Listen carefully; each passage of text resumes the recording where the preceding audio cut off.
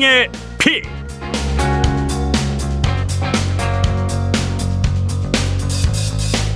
네, 바로 이번 총선에서 만나봤습니다만 진보당은 최소 다섯 석 확보를 지금 목표로 하고 있습니다. 진보당 윤희숙 상임대표와 이어서 얘기 나눠보도록 하겠습니다. 대표님 나와 계시죠? 네, 안녕하세요. 윤희숙입니다. 네, 바로 앞에 노정현 후보 만나봤는데 혹시 들으셨습니까? 아, 예, 뒷부분 조금 들었습니다. 네, 뭐 부산 지원 유세도 다녀오셨던데 지금 전반적인 판세 어떻게 파악하고 계십니까? 아, 제가 직접 다녀왔는데요. 어, 정권 심판의 부산 민심이 정말 압도적이었습니다. 오. 그래서 뭐 심판 돌풍이 아니라 이 정도면 태풍급이라고 보는데 어제 여론조사 결과가 그걸 수치로 확인을 해준 것 같고요. 예. 이번에 요 부산 연재가 전국적으로 정권 심판 돌풍에 약간 진원지 역할을 하면서 어 불러 그 민심을 더 불러 일으킬 것이라고 생각을 하고 음. 보당 의석은 어, 다섯 석이 목표가 아니라 최소 다섯 석 이상. 어, 다섯 석 이상도 가능할 것이라고 보시는. 있습니다. 오, 예. 그러시군요. 음, 최대 목표는 열석이라는 얘기도 하셨던데 이건 어떻게 나온 숫자인가요?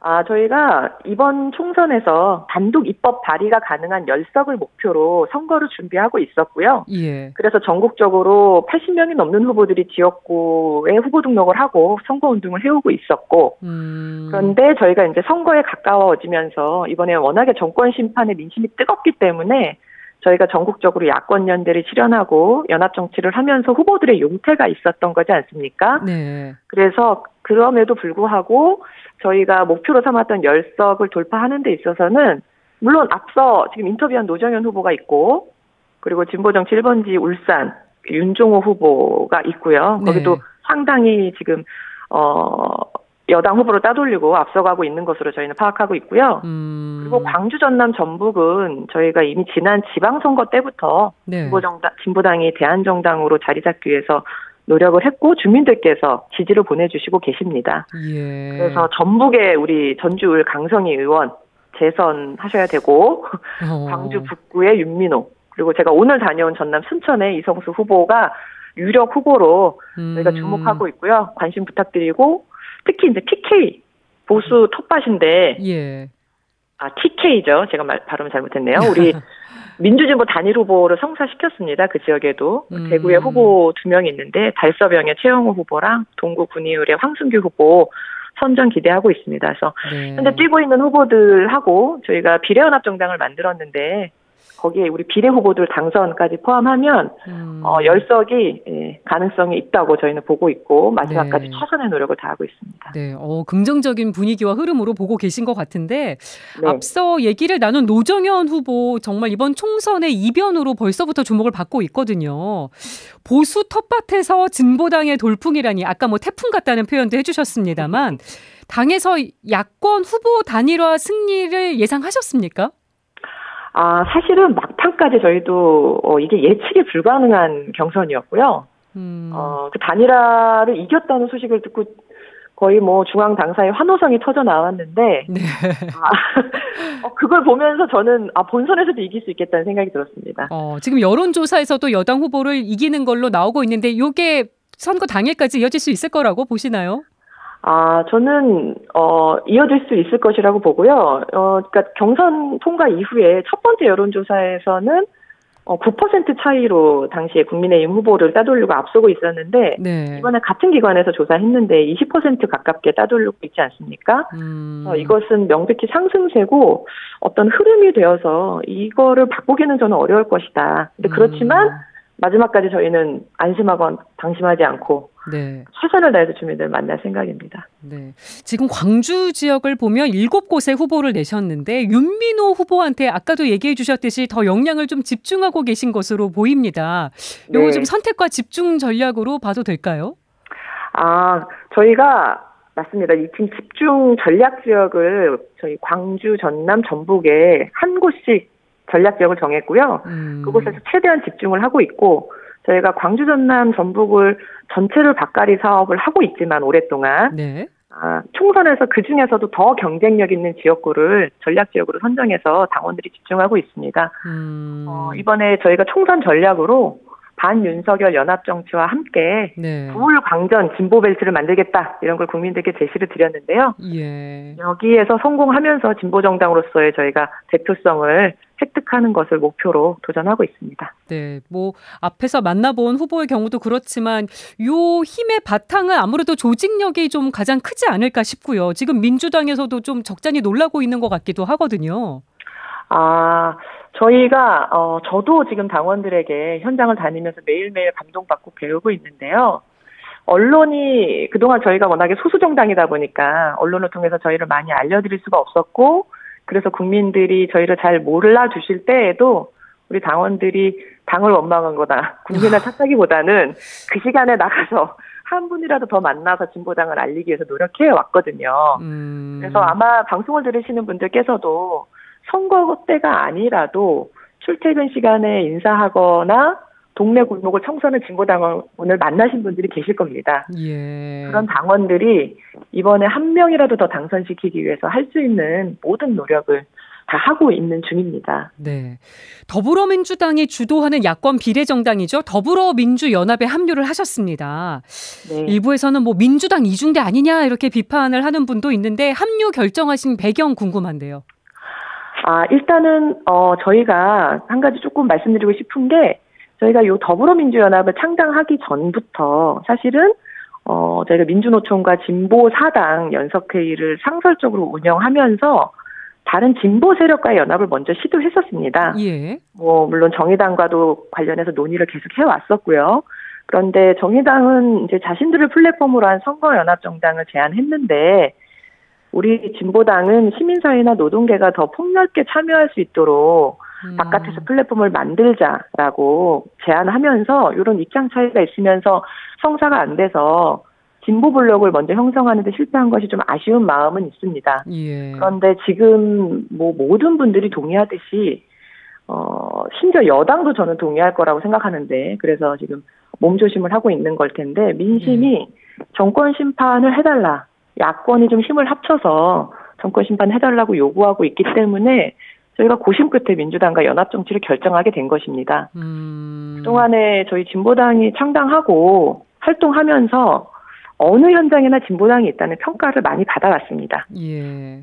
뭐 이태원 참사 유족들께서도 제 손을 꼭 잡고 꼭 국회에 들어가 달라 이런 부탁을 하셨고 곧 일주기가 다가오는 그 건설 노동자 고 양해동 열사 있지 않습니까? 예. 그 가족들께서 그 중학생 아들이 제 손을 잡고 부디 아빠의 억울함을 풀어달라 이런 호소를 하셨었거든요. 어. 근데 저희가 현장에서 만났던 이런 이런 분들, 억울한 분들, 어, 억울한 일 당해도 국가로부터 보호는커녕 외면받는 분들과 함께 국회로 가겠다라는 다짐을 말씀을 드렸었고, 네. 어, 이번 선거에서 그런 결심을 담아서 저희가 수도권 지역에 한 40여 명, 음. 전국적으로 60여 명의 후보들이 용퇴를 한 겁니다. 네. 1년 넘게, 특히 길게는 한 4년간 준비한 후보들이 어, 아무리 진보당이라 하더라도 음. 이 선거를 용퇴하는 것이 쉬운 일이 아, 니지 않습니까? 그렇죠. 그런 결단을 한 것을 우리 국민들께서 좀 이 진심을 알아주셨으면 하는 마음이 있습니다. 뭐 야권 단일화를 바라는 민심을 반영한 거라고 얘기해 주셨습니다만 국민의힘에서는 야합이다 거래다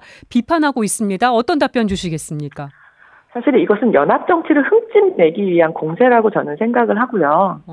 어, 만약에 그렇다면 현재 있는 승자독식의 소선거구제 선거제도 있지 않습니까? 예. 이걸로 지역구에서 250명이 넘는 지역구 의원을 결정하는 구조인데 이 구조는 소수 정당에게는 굉장히 불리한 제도입니다.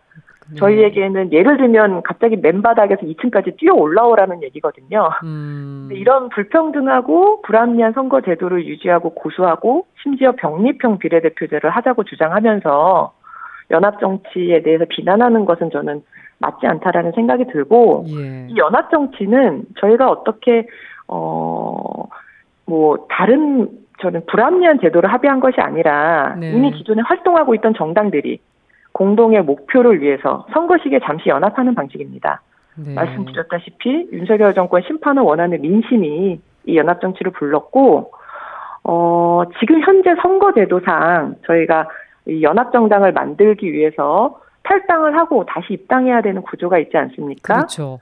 그래서 저는 어 예를 들면 유럽 같은 경우에 선진적인 정치 제도라고 많이 예시들을 들고 있는데 연동형 비례대표제가 자리 잡고 있고 이런 나라들에서는 선거 연합을 일상적으로 진행하고 있습니다. 예. 소수 정당들이 진출하기 위해서. 음. 그래서 저는 이번에 22대 국회가 만들어지면 이중당적 금지 문제라던가 네. 이런 부분에 대해서는 좀 개선이 이루어져야 하지 않을까? 그리고 어. 꼭 당을 만들지 않더라도 후보를 함께 공천할 수 있는 소수 정당들도 후보를 연합해서 함께 공천할 수 있도록 하는 음. 그런 선거제도 개혁이 일어나야 되지 않을까라고 생각하고 있습니다. 네. 그런데 총선 이후에는 이 연합 정치가 어떻게 되는 걸까도 궁금합니다. 특히 민주당과의 관계요. 어, 당장 진보당 강령에 있는 한미동맹 파기랑 민주당 당원에 있는 굳건한 한미동맹 이걸 보면 배치되는 것 같거든요. 음, 이거 어떻게 설명을 해주시겠습니까?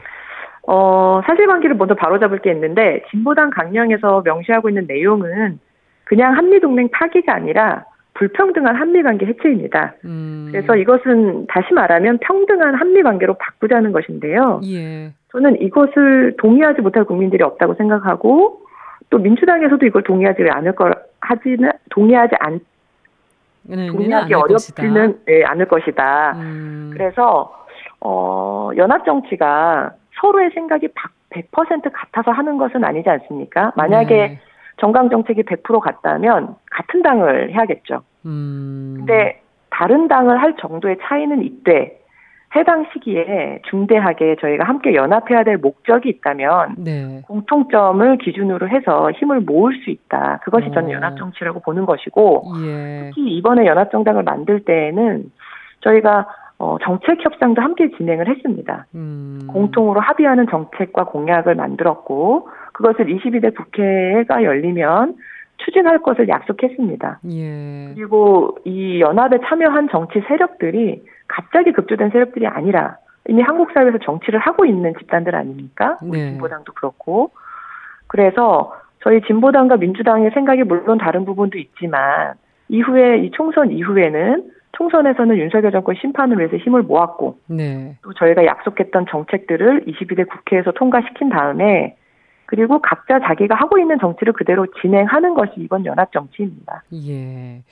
요 질문도 드리고 싶었어요. 선거 때마다 색깔론이 등장하는데 한동훈 국민의힘 비대위원장이 이번 총선을 종북 세력과의 대결이라고 얘기했는데 아무래도 진보당을 겨냥한 측면이 있는 것 같습니다. 요건 어떤 반론 주시겠습니까? 네, 사실상 저는 그 종북 색깔론은 좀 실패했다고 보거든요. 어, 그러세요. 선거용 종북 색깔론인데 얼마 전에 국민의힘에서 어, 종북 그 현수막을 공지했다가 철회하는 일이 있지 않았습니까? 그랬죠. 예, 저는 그것이 극명하게 보여준다고 생각합니다. 이 종북 색깔론이 정치적으로는 파산했다고 보는데요. 음, 기본적으로 이 색깔론이라는 것이 어, 뭐 진보당에게 또는 공격의 대상에게 너희가 종북이 아니고 반국가 세력이 아니라는 것을 증명해 보라는 식인데 이걸 증명할 수는 없거든요. 아닌 네. 것을 어떻게 증명합니까? 그러니까 우리 공동체가 그런 질문을 단호하게 이제 배척할 수 있어야 된다고 보는데요. 그래야 음. 정말로 민주주의 사회로 간다고 생각하고요. 네. 만약에 진보당이 그렇게 위험한 세력이었다면 한동훈 지금 비대위원장이 법무부 장관이었지 않습니까? 그 네. 당시에는 뭘 하셨고 진보당의 정당 등록을 왜 허용했는지 묻고 싶습니다. 어, 네. 이렇게 반론을 주셨네요. 저희가 시간이 다 돼서 오늘 여기까지 말씀을 나눠봐야 될 것 같습니다. 지금까지 아, 제가- 아, 진보당 너무 네, 아쉽네요. 윤희숙 상임 대표와 말씀 나눠봤습니다. 오늘 말씀 잘 들었습니다. 고맙습니다. 네.